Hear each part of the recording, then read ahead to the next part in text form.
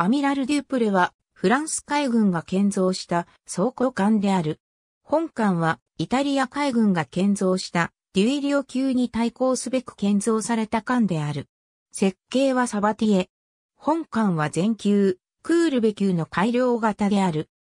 本艦のイラスト船体の基本形状は、全艦と同じく艦首水面下に昇格を持つ船体に3本のマストを持ち、煙突は断面が小半径の2本の煙突を左右に並列配置して点は変わらないが、本艦の手法は従来は原則の方角部に配置されていたのをすべて甲板上に配置した点が異なる。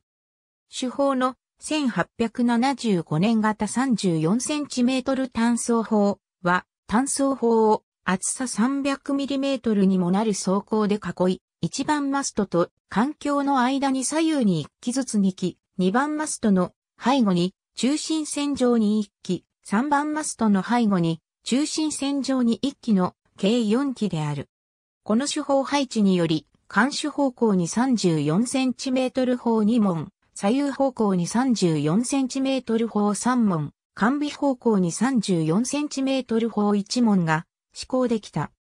本艦に搭載された主機関は船体中央部の主要防御区画内部に配置した石炭戦小円筒艦12機に直立型2段膨張式レシプロ機関2機に軸推進で変わらないが、最大出力は全級の8100馬力から5700馬力へと減少したが船体形状の改善により速力は15ノットを維持できた。10ノット巡航で2850海里を航行することができた。世界の感染増加フランス戦艦史。ありがとうございます。